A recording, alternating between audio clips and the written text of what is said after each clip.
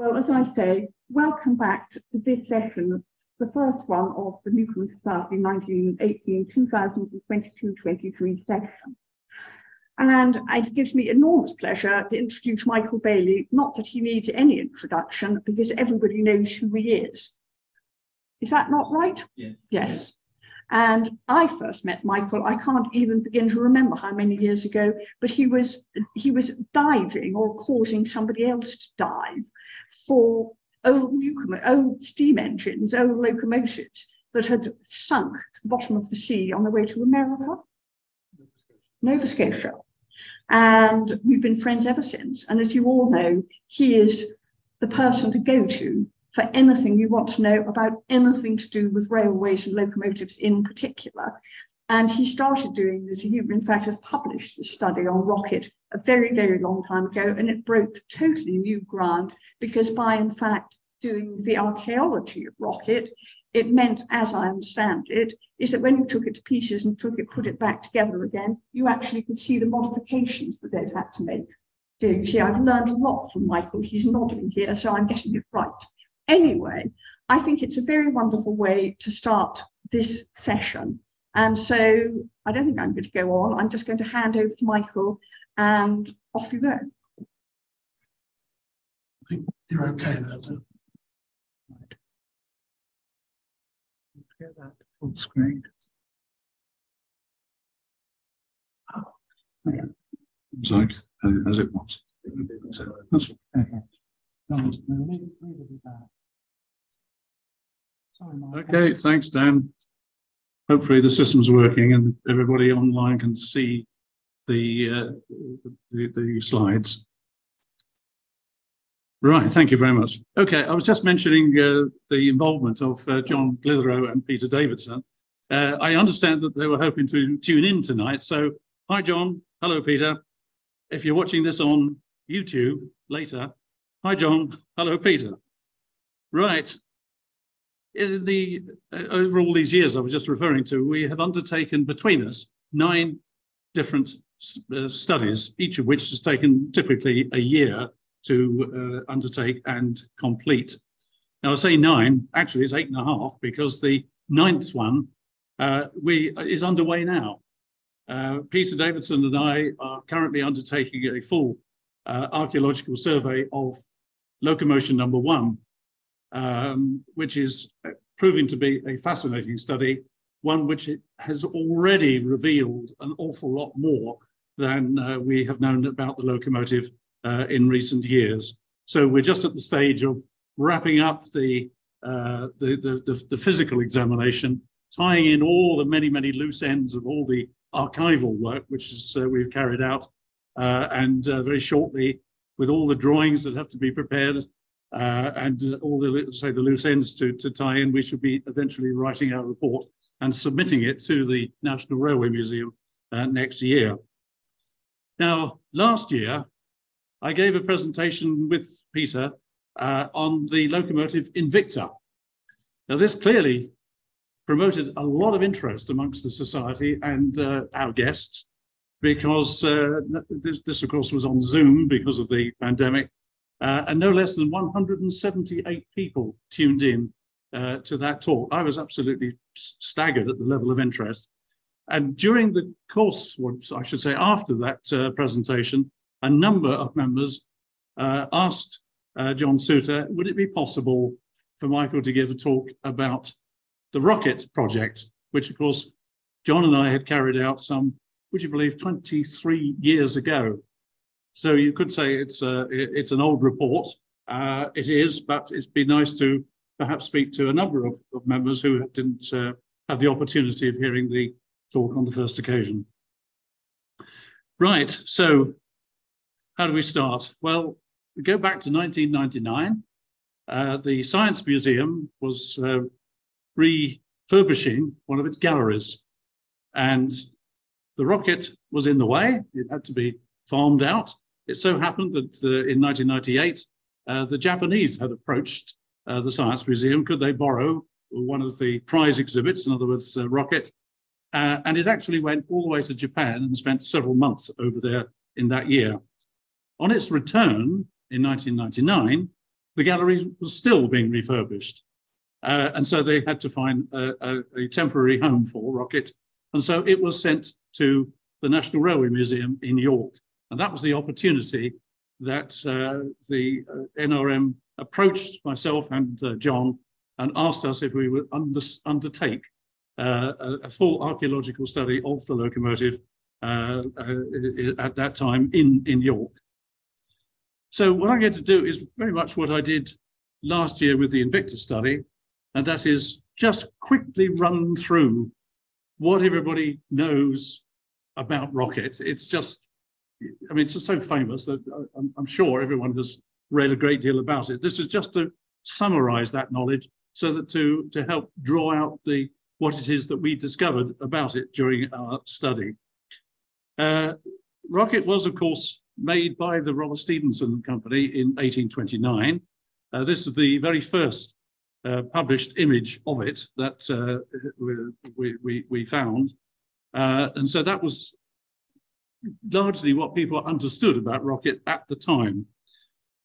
Now, the, the locomotive didn't suddenly appear. Of course, it was one of a series of prototypes which had been promoted by Robert Stephenson himself the locomotive components were being improved significantly uh, at that time. In fact, between the beginning of 1828 uh, and the opening of the Liverpool and Manchester Railway in 1830, a period of just 33 months, the locomotive was taken from those uh, the locomotion type of locomotive, the the, the uh, slow and lumbering uh, engines drawing wagons of coal along the Stockton and Darlington line all the way through uh, to the Planet locomotive on the Liverpool and Manchester.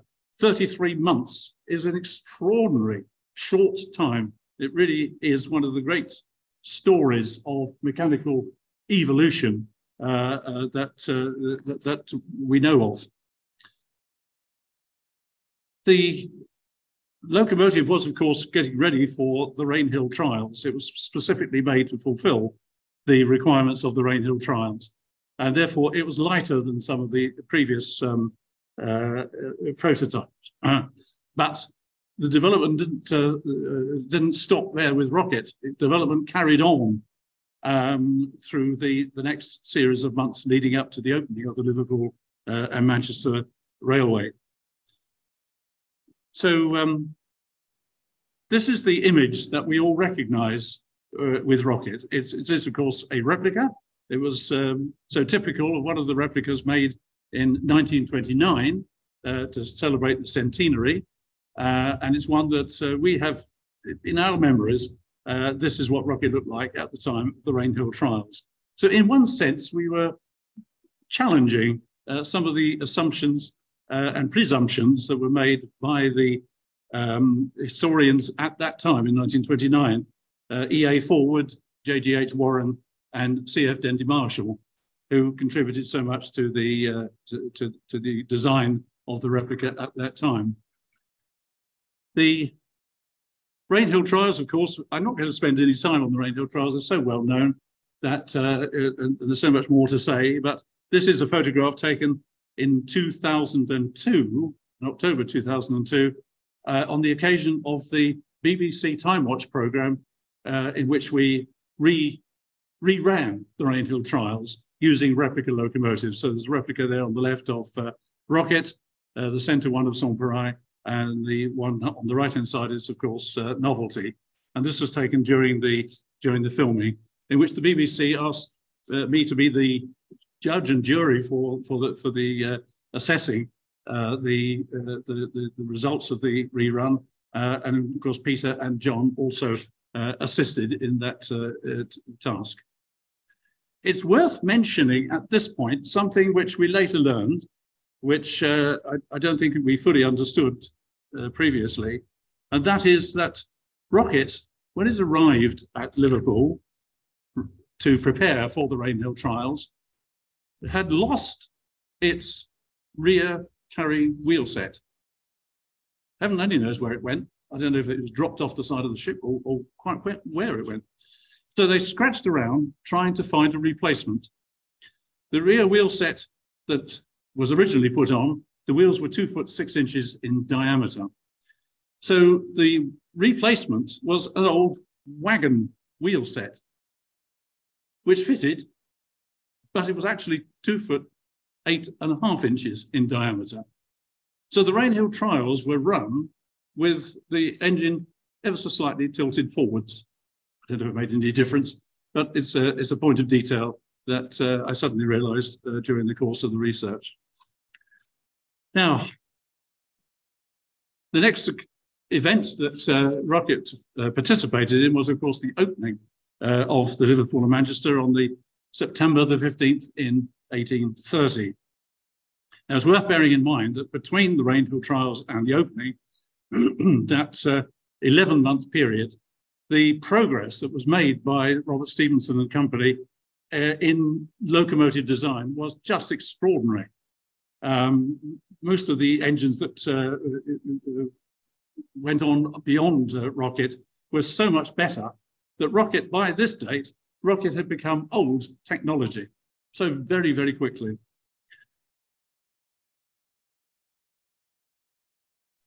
So it ran on the Liverpool and Manchester line for about four years. And during that time, it changed dramatically. This is a drawing that was prepared in the mid 1830s, about 1834, uh, showing Rocket as it was uh, four years after the opening of the line. And as you can see straight away, that there are significant changes that have been made. Now, this is not news. We, we, we've understood all this over many years, but what we don't under, have not understood is why it changed so much, what they changed, uh, and in what sequence the changes were made.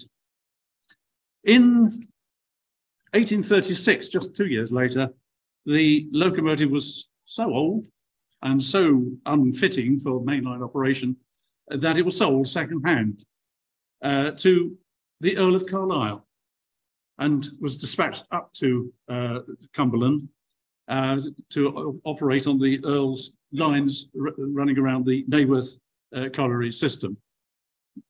The main reason why it was selected is because, of course, the actual loading was so light uh, that uh, it could operate over some very questionable track that uh, the Earl had on his colliery system. It operated up there for about four years, and in 1840, that was about it. It was not just not worth improving any further. And so it was tucked away in a shed, uh, out of sight, out of mind. And I think it was that occasion where all of the non-ferrous materials was removed. I, have never understood whether it was removed as a deliberate policy just to cash in on the value of the non-ferrous uh, work, or, or, whether or not it uh, went down to uh, the down the road. One, one doesn't know.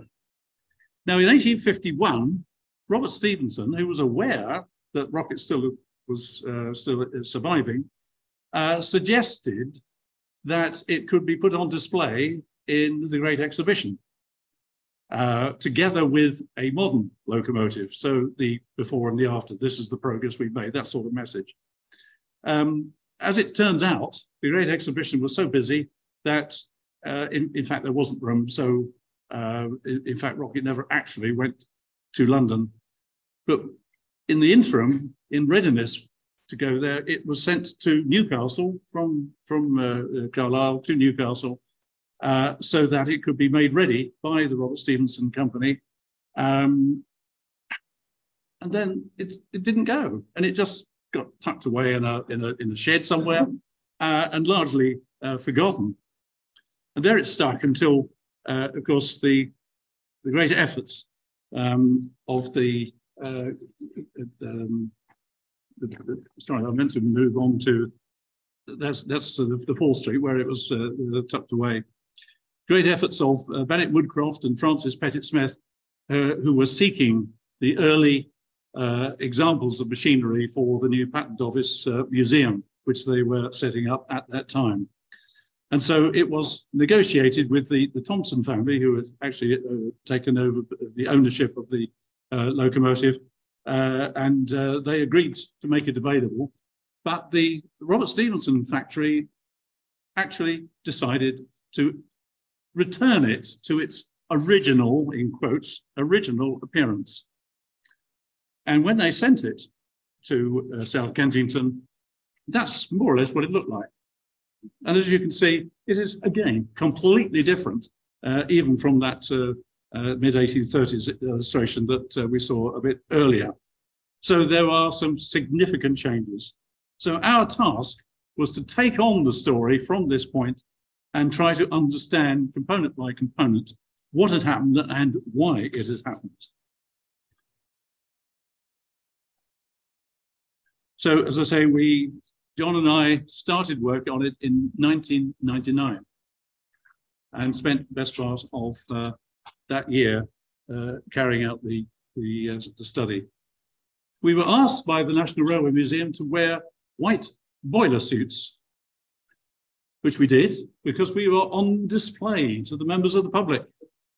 So we, we duly uh, uh, concur with this. And there, there's a photograph of John and myself um, undertaking the work. You won't be surprised to hear that we were this the work that we were carrying out was known as rocket science.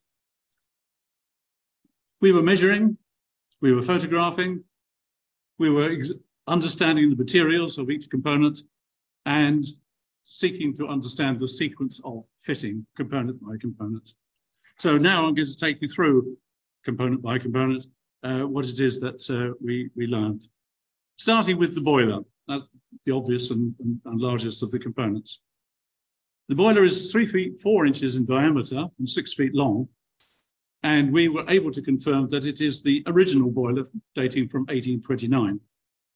It's formed in two rings rather than the longitudinal plate form, uh, which some of the, uh, most of the earlier locos uh, had been uh, constructed by. They are joined together in a butt and strap form. See the upper segments and the lower segments with the strap uh, along the center line, uh, which uh, was, was the method of construction, which is fairly new at that time.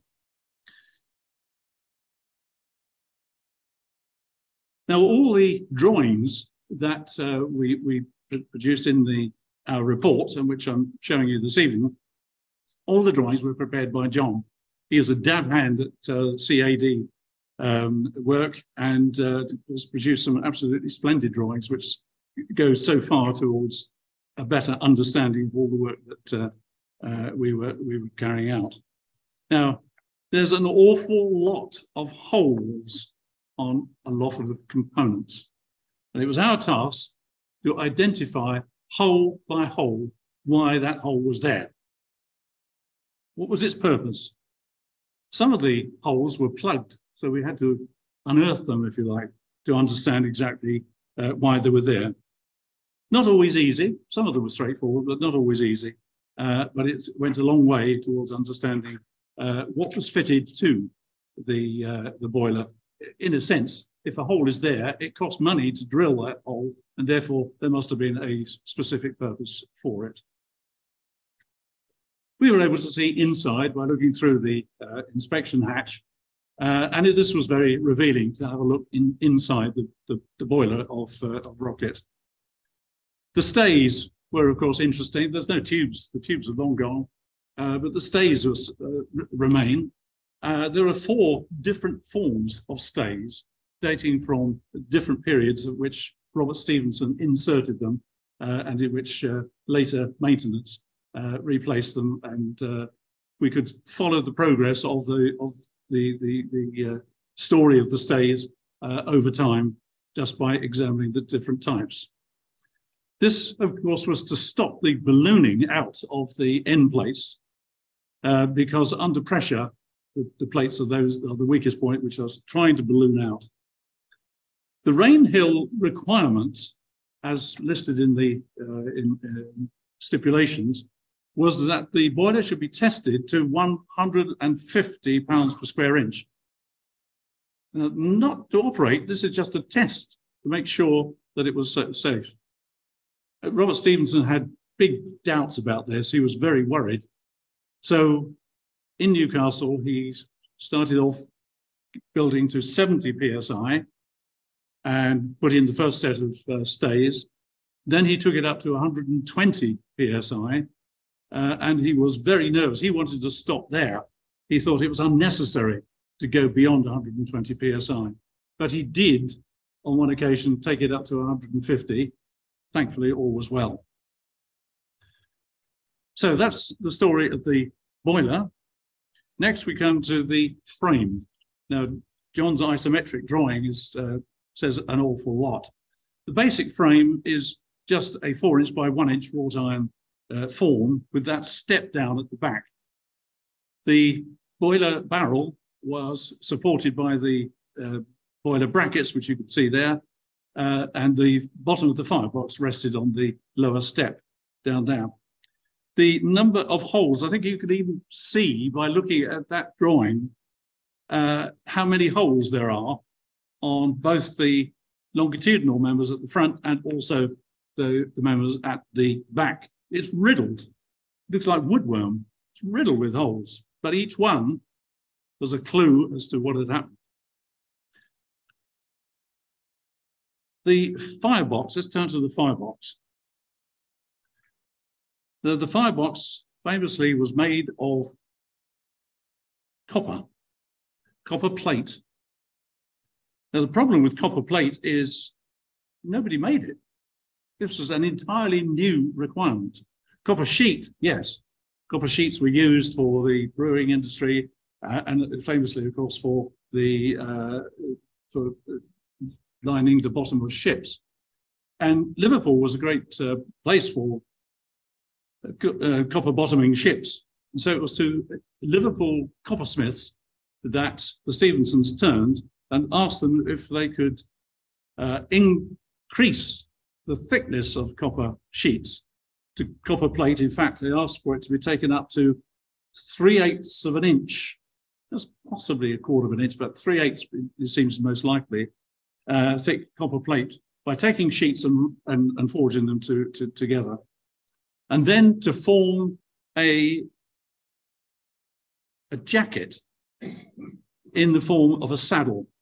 In other words, the crown and two sides that you can see there uh, in the various um, uh, uh alignments. Now, this was done by hand forging over a former. So it was all very new and very imprecise, as it turns out. When the firebox arrived, it was taken up to Newcastle to, to fit on the loco. When it arrived, um, Robert Stephenson made a note in one of his letters to say it was not quite square built. Okay, what did he mean by that? Well, the, all those holes that we were just looking at on that lower step revealed exactly what he meant.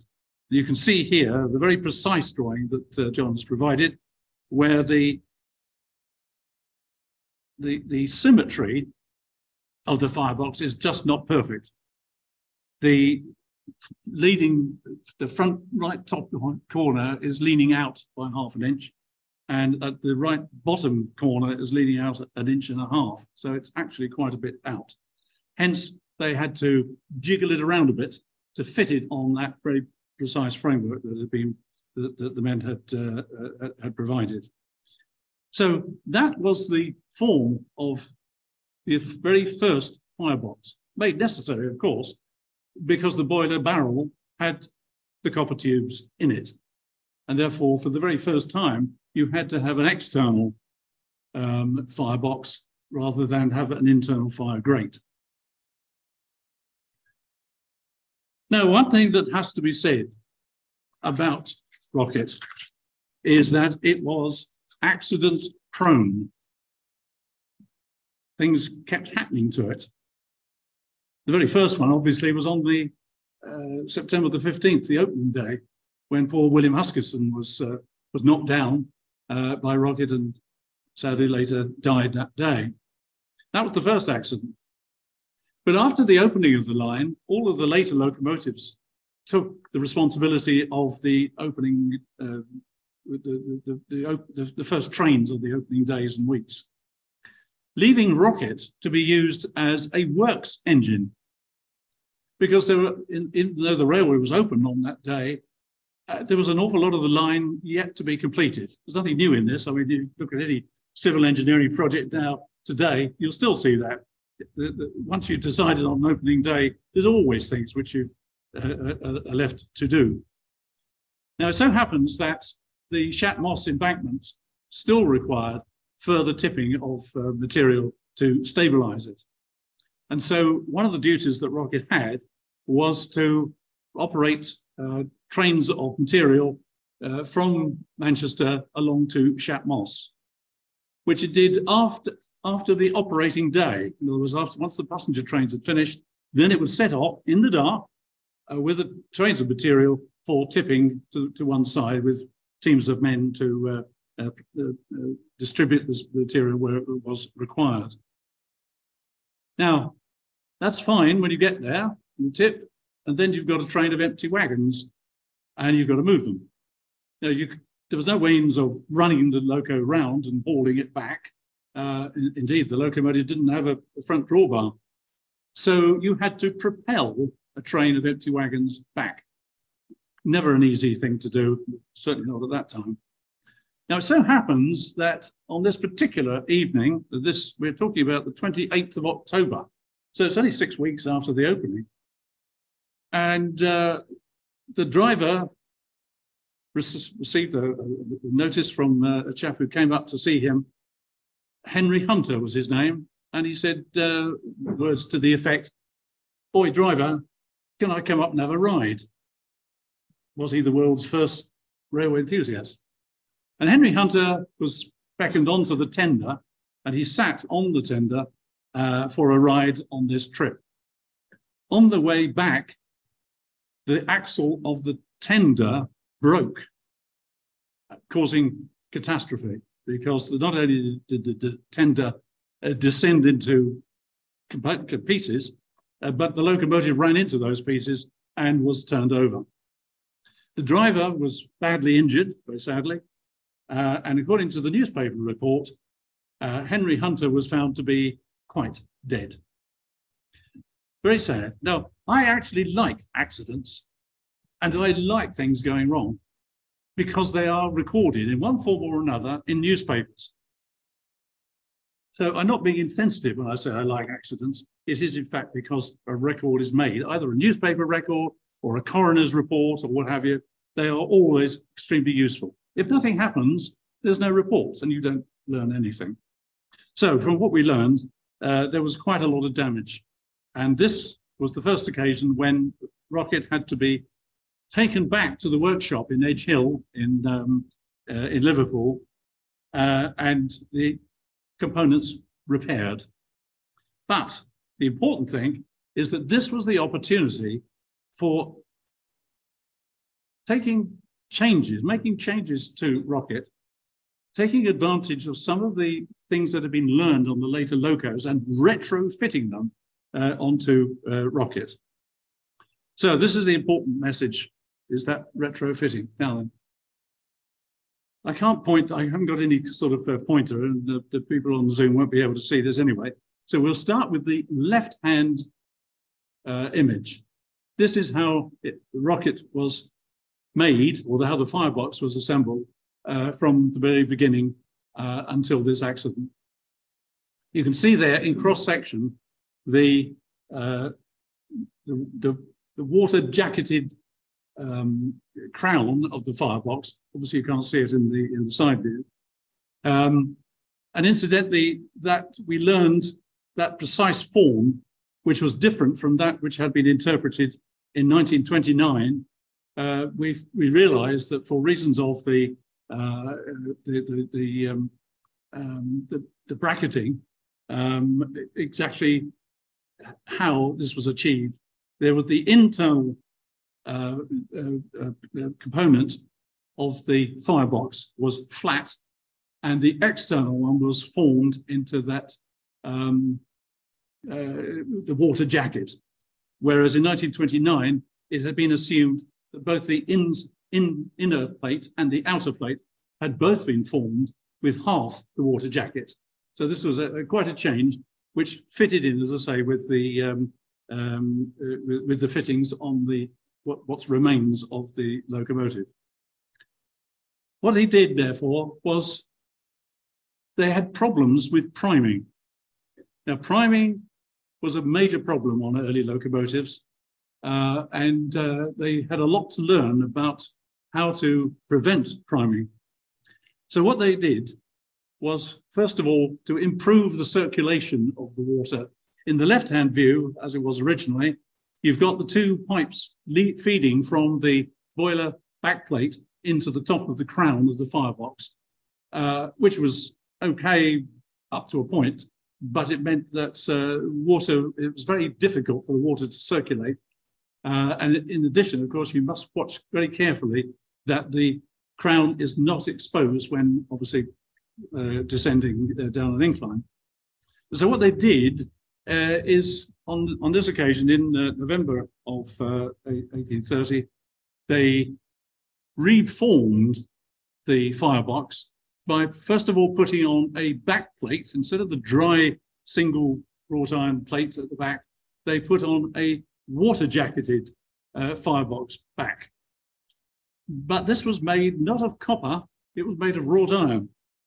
Uh, so they put it on and um, they linked the firebox crown with that back plate. You can see the pipe illustrated there on that right hand view. They also put in a pipe underneath the boiler, feeding into the bottom of this new uh, uh, water jacketed uh, back plate. And to do that, they had to raise up the level of the uh, fire grate. So that was all undertaken, as I say, after this accident in uh, November 1830. Now, the, um, the, well, I'll come on to the, the purpose for all this shortly. There is the surviving um, firebox backplate made of wrought iron because, of course, the main saddle was made of copper and that, uh, as I say, was removed uh, all those years ago. And the firebox back is, is still very much very, very present. So let's have a look at John's uh, image of the firebox itself uh, as we now see it or as we would see it if the saddle was, was, was there. So you can see the front of the firebox uh, was a wrought iron uh, plate dropped down beneath the uh, tube level. Then you had the saddle. Then you had the uh, new uh, back plate uh, in, the, in that form with the, with the grate now raised up. So looking at it now, there's two photographs there side by side, one for the left and one for the right of that front plate, uh, which we just saw in the, in, in the drawing. Now, why do they go to such trouble? Well, it's all to do with the level of water. Because of all the priming problem, they decided that they would need to raise the water level within the boiler, which confined the steam space even further. So to overcome this, they decided to insert an extension to the boiler above the barrel. In other words, a steam riser. And from that steam riser, they would run a steam pipe, running all the way back to the regulator valve. By so doing, this allowed the water level in the boiler to be raised by about three inches.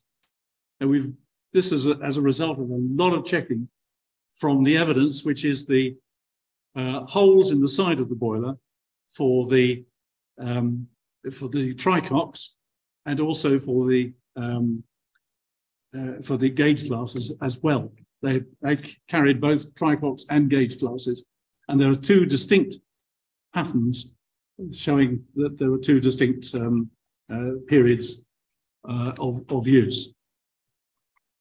Now, within the riser, sorry, within the dome is the, is the riser. And this, the dome, in other, in other words, was fitted uh, in uh, this period of uh, reconstruction of the, of the engine.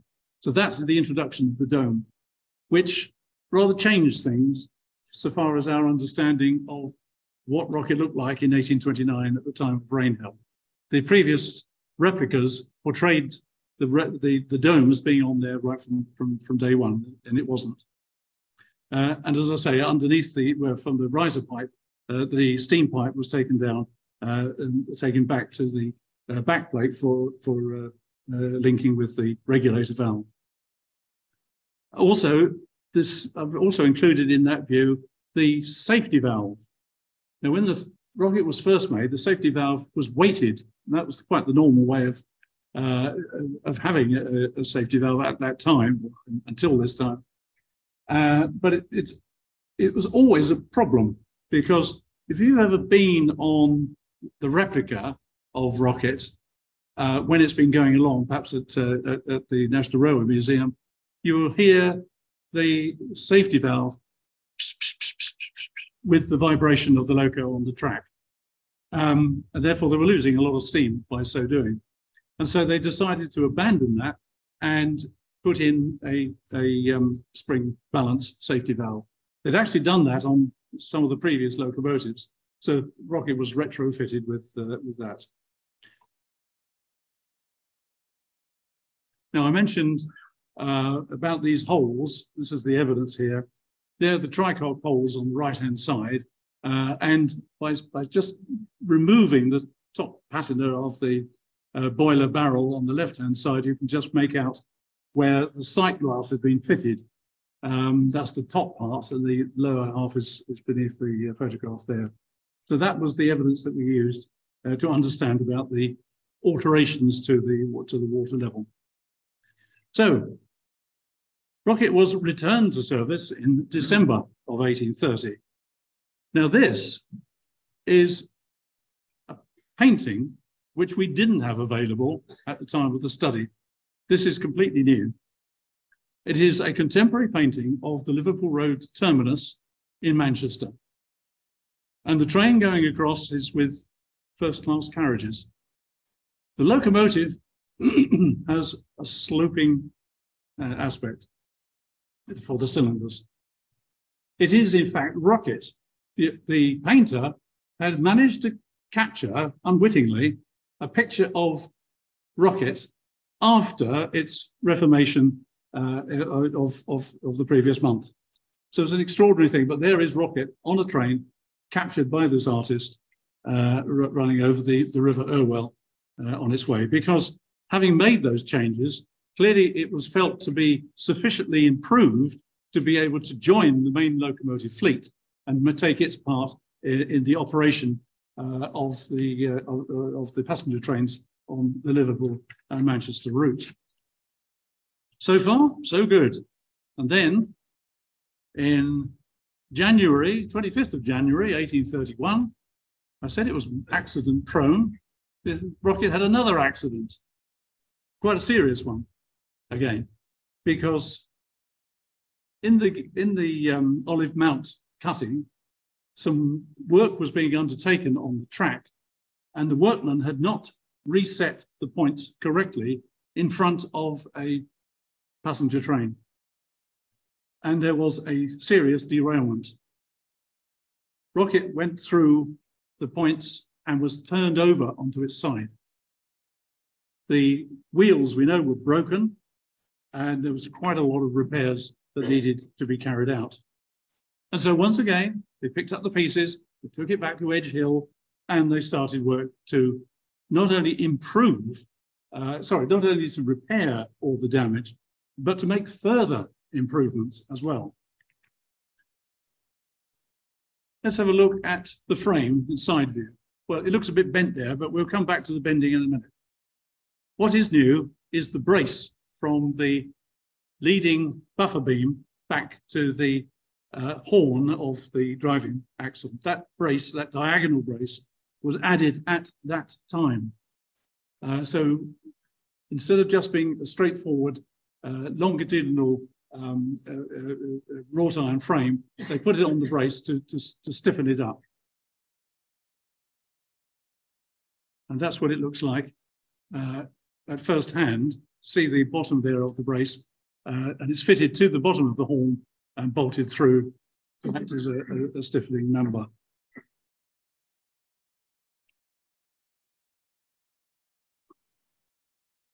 The driving wheels had to be replaced. They were clearly badly damaged. They're, they're wooden driving wheels, um, and they needed to be replaced. Now, what was interesting is that when the, the first axle that was used on, on the rocket was only three and a quarter inch diameter. But the axle that it now carries is four inches in diameter. And this was the occasion where it, the replacement was made. So you've got a, a brand new pair of wheels, pair, pair of driving wheels, uh, and uh, fitted to a, a, brand new axle. So it's quite a lot of damage that needed to be uh, replaced. On the left-hand side, after all these years, there's still some marks, marks of damage. Some of the parts are, um, uh, are slightly burnt. Some of the felloes are, burnt, but also there are splits. You can just make out in that um, spoke in the center of the picture there, uh, the, the split, which uh, you know, survives to this day, obviously. So from all our investigations, John was able to produce this uh, splendid drawing uh, of the driving wheels.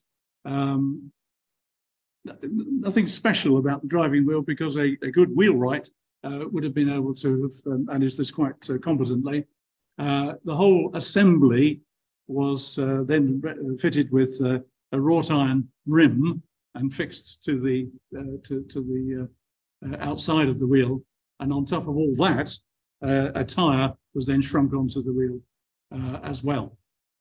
Um, you can see there that um, the, the, uh, uh, the, horse collar, as we call it, uh, which fitted not only over the axle but also over the, um, the um, crank pin, uh, is quite uh, noticeable there. And also the, the um, fitting of the axle to the, sorry, the fitting of the wheel to the axle was undertaken with four separate keys around the perimeter. Right, now come to the cylinders. Because famously, rocket cylinders were dropped from the original 38 degrees to the horizontal down to 8 degrees to the horizontal. To do that, uh, and I, I, should also say that the cylinders were reversed, upside down, inverted is. So that this, the steam chest is on the top rather than on the bottom. And the only way you could undertake that, of course, is by swapping the left-hand uh, cylinder the, to the right and the right-hand cylinder to the, uh, to the left. This was all came about because of the uh, motion uh, of the locomotive, uh, which, because of the um, improvements in the track and improvements in speed, the locomotive has started to um, be a little dangerous going along the track uh, with the undue um, dynamic forces uh, on the loco between the loco and the track itself. Now, to enable that to happen, the original brackets for the cylinders were removed and new brackets were put on. You can just see the brackets there uh, on the side of the boiler, completely new fittings these, uh, and it went to the back of the new uh, wrought iron firebox back. And stiffeners were put on along the outside of the, the firebox uh, back uh, to stiffen the whole assembly, which is the reason why this, the firebox preceded the, the stiffening because of the two different occasions that the work was undertaken. Another view uh, of the firebox is there. You can see there the, the, the, stiffener right at the bottom underneath the firehole door. Also, of course, by lowering the cylinders uh, and inverting them, you needed new steam lines from the regulator valve, which is uh, on the back plate at the top there. Uh, so new steam pipes were put in, copper steam pipes uh, were put in at that time uh, to the to the steam chest. The actual regulator was conical in shape, uh, fitting into this uh, housing. On the bottom right image there, you've got on the right-hand side uh, the um, flange for fitting to the back plate of the firebox. And on the both sides, you've got the flanges for the two steam pipes to take the seam down to the uh, uh, seam chests. And inside the housing, you had the fitting for the conical uh, regulator. Now, I did discuss this with the um, uh, in, Invicta uh, study last year, because, and in fact, I used uh, these images at that time uh, because they are in fact identical. And so we learned a lot about Invicta uh, just by, by having examined uh, Rocket in this sort of detail. Right, now the smoke box.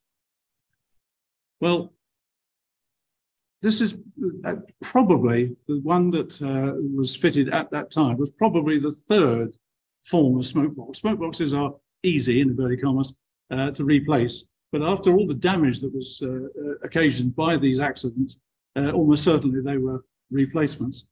This firebox, this smoke box, in, in fact, belongs even to a later period still. Um, the right-hand image is one that uh, I was able to take when I was inside the smoke box, looking up the, the, the, the chimney.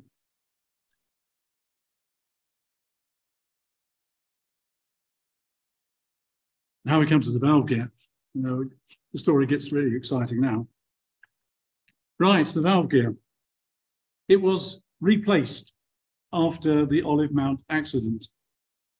The same sort of design, exactly the same design, but because of the wider axle, four inch axle instead of the narrow axle before, they had to replace the components. But what we did have to, uh, were, were able to do was to compare that fitted to Invicta with that now fitted to Rocket. And it was quite clear that uh, the one fitted to Invicta is, of course, older than that fitted to Rocket, which is quite a useful uh, clue because uh, of that sort of prog progression. We were able to understand what they learned about operating using this uh, slip eccentric uh, system. Now, slip eccentric you can see there on the top left the cluster of uh, the two eccentrics, one for forward motion and one for reverse motion. Uh, you can see leading from it the eccentric straps and eccentric rods. Taking the motion forward to the uh, uh, to, to the um, rocking shaft that serves the movement of the valves themselves. The motion was obtained by the axle turning, and therefore it needed a very firm fitting onto the axle of a dog. Now, the dog in this case is the component which actually drives the eccentric cluster. If that dog was clamped on very, very hard indeed one dog for forward motion and one dog for backward motion. To move the cluster from side to side required the use of a yoke between them. This yoke would then move the whole assembly across with a, about two and a quarter inch movement side to side, actually movement. That was achieved by the foot pedal. And there's the, the foot pedal on the bottom there, showing that the motion of that was taken all the way through to the front end, was that then the lever managed to move that uh, yoke and hence move the assembly uh, across between forward and rear motion. But of course, one the, the dog engaged in one part of the eccentric would not automatically engage with the reverse uh, movement, you had to rotate the axle by, I think it's, uh, was it uh, 140 degrees or something? Um, and by so doing, you therefore led the driver to try and undertake the movement between the two, not manually so much. Uh, it, it, it would move if you manually operated the valve lever until it, the uh, reverse dog was engaged. But what the drivers learned all too quickly is that if you re removed the cluster from the forward motion whilst the train was still running, you could then engage the reverse uh, before it actually came to a halt. Now, the drivers are very quick at doing this. They anything to save themselves work. And I must say, when we built the uh, replica planet uh, at Manchester, that was one of the first things uh, that I and my colleagues learned to undertake was the, the uh, reversing move, move whilst you were underway. That's a difficult thing to describe without pointing at it. right, let's have a closer look. There is the cluster in the, in the center, and you can see between the two, uh, the, the, the, the two eccentrics themselves is the yoke attached to that bottom bar at the bottom there. That was the, the means by which it was moved axially. You can see there at the bottom of the left-hand one is the dog itself. You can see the clamps. You see the dog itself at the bottom. You can see also the slot into which the dog engaged to drive uh, the eccentric round. Uh, in this view, it is the reverse dog which is engaged. There's John's isometric view uh, of the assembly. You can see there perhaps a, a bit better uh, the dog assembly there uh, and the and the slots. So we dismantled the whole thing to understand fully all that was going on. So there, are top left, you can see the slot into which the dog engaged for the forward direction, uh, and also, of course, the uh, on, on the, the, nearer view, you can see the reverse dog uh, which has been engaged in that uh, view. And at the bottom, having dismantled everything other than the dog, you can see it quite clearly uh, as it's been um, clamped to, to the axle.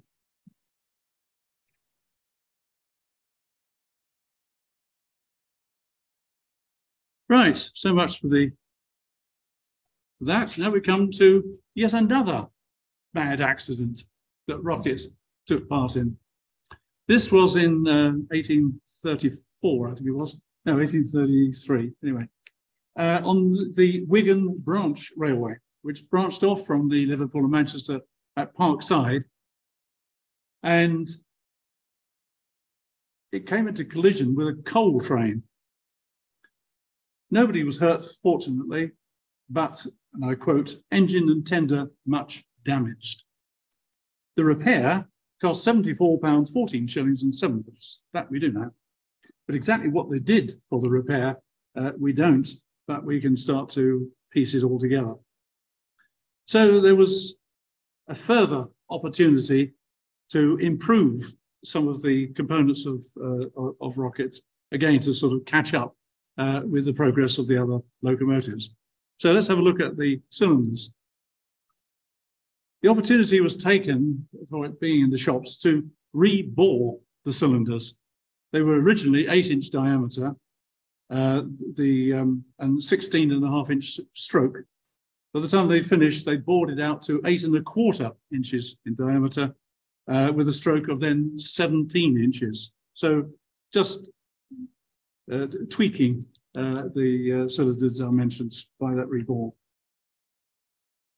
we were able to take one of the steam chests apart. You can see there on the right, uh, the steam chest removed, and you can see there the, um, the, the, the opening, the valve openings.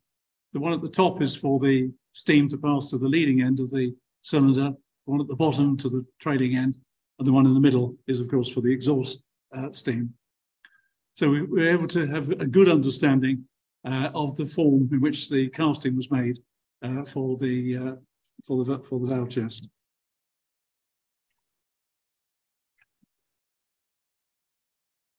We also took apart the one of the pistons, able to remove that from the cylinder uh, and dismantle it. Now the original uh, rings were made of hemp, but either at this, uh, in fact, almost certainly on this occasion of rebuilding, uh, the brass rings were put onto the locomotive uh, and kept in place with steel springs. So this was quite an innovation, an important innovation uh, to reduce the loss of steam that, that, had been occasioned on uh, uh, hitherto. There's John's drawing of the uh, form of the piston.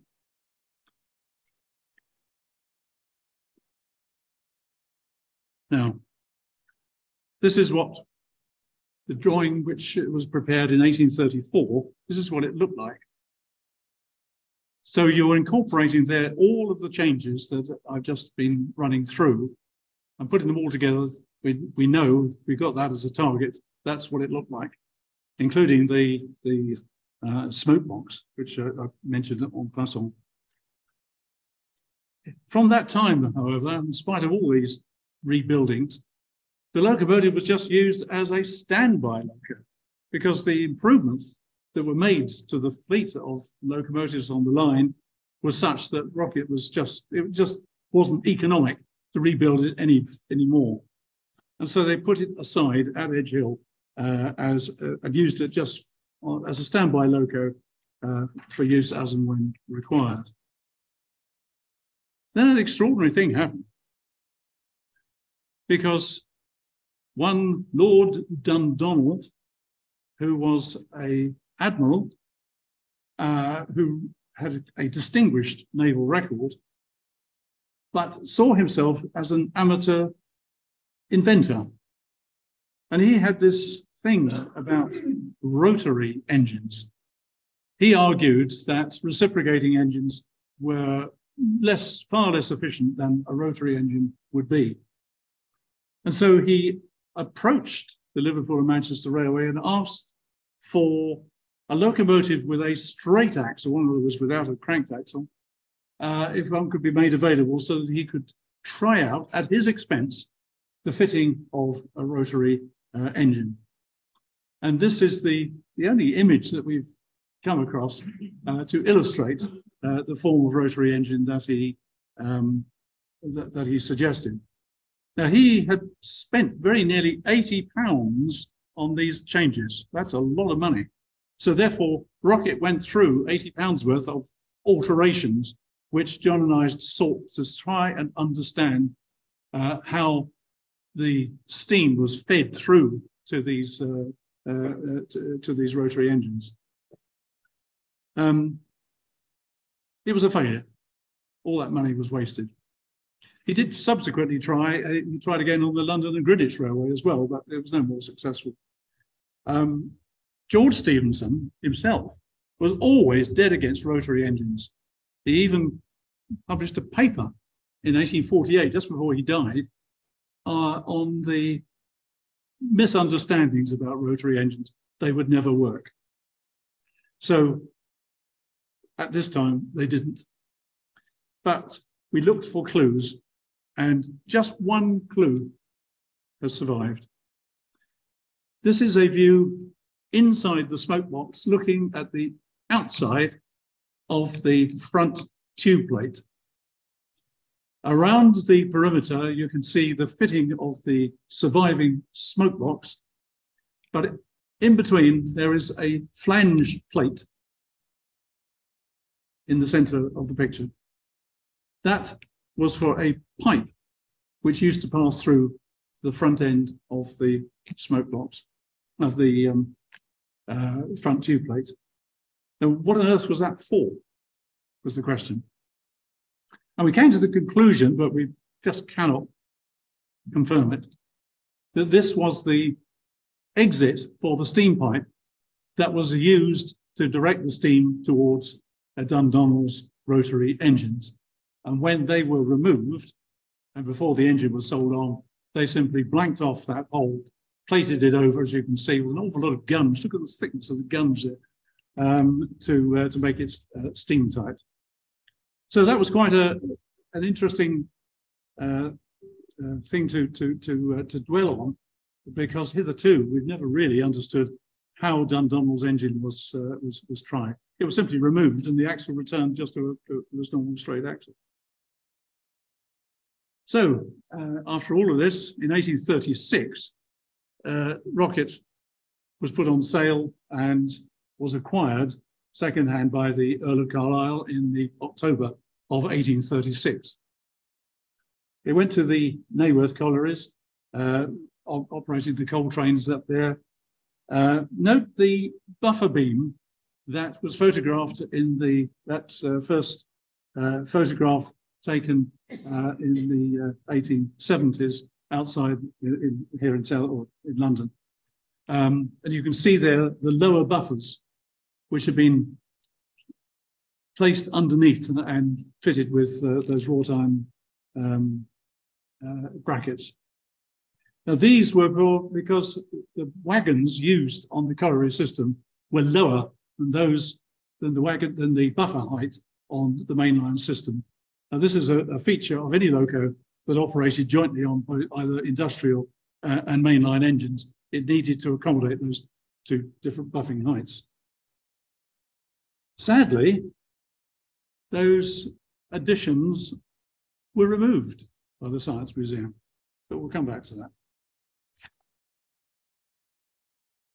Right, let's have a last look at the frame. It looks bent. It was bent, it is bent, because a number of heavy buffing incidents, let's put it be polite, uh, occurred during its time on the colliery system. And each time it bent, uh, that's what happened. Uh, and consequently, it has retained that, uh, that, that um, misalignment uh, to this very day. It ended its service, as I said before, in about 1840 and was then made ready for going to Newcastle to uh, take its part in the Great Exhibition.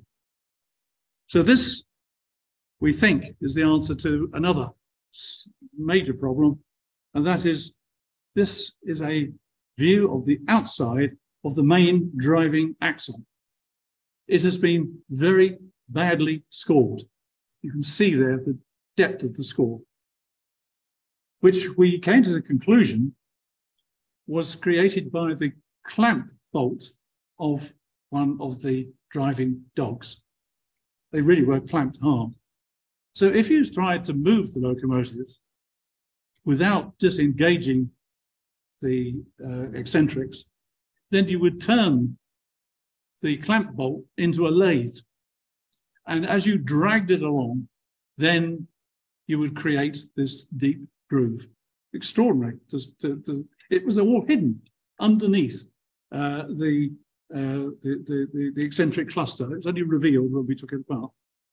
And incidentally, you can just see the two um, pot marks at the top there, that they are fitters marks. And we came across an awful lot of fitters marks uh, on all of the components. Some were in uh, L for left and R for right, that, that simple sort of thing, but they're all fitters marks. Uh, and they're all in, in itself uh, takes us back to the men who worked on Rocket uh, all those years ago. And now we come back to the photograph that was taken um, in the 1870s. It's the nearest we've got to the locomotive as it was uh, when it was dispatched from Newcastle uh, to, uh, to, to South Kensington. It's a, a, a good, but not a good, it is an attempt by the men at uh, the Forth Street factory to try and make it look like a locomotive. Uh, because all you had was the skeletal remains uh, of rockets. It didn't have a chimney. It didn't have exhaust pipes. It didn't have a firebox. It didn't have connecting rods. It was just a skeleton. So, chimney, exhaust pipes, firebox. Oh, yes, on the carrying wheel set was completely wrong. Um, it, it, had been taken from off another uh, wagon. Uh, it was a wagon wheel set that had been put on was completely erroneous. Um, and so it was left to Ernest Forward of the Science Museum to start to improve the appearance of, uh, uh, of Rocket to make it more appropriate. He put in an awful lot of work uh, to in the in his research into uh, Rocket, and so he replaced the chimney. Uh, he removed the exhaust pipes. Uh, he removed the firebox.